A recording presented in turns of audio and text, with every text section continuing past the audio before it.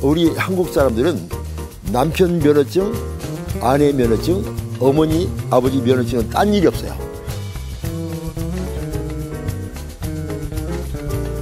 매력이 변하여 갈등으로 바꿔집니다.